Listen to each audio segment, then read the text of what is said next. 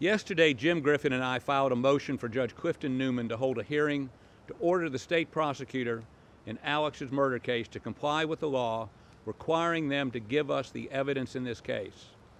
Both the constitutions of the United of the state of South Carolina and the United States prohibit trial by ambush. The law requires the state to make this evidence available to us within 30 days of our request.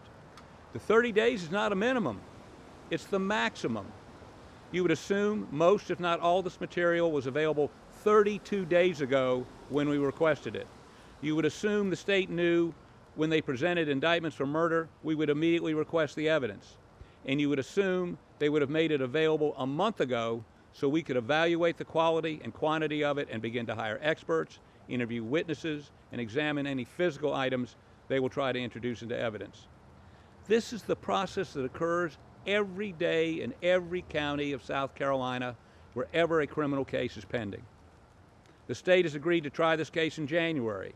Every day that passes makes it more difficult for Alex Murdaugh and his attorneys to get prepared for trial.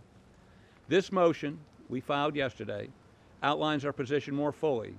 We're asking Judge Newman to order these materials turned over to us immediately without delay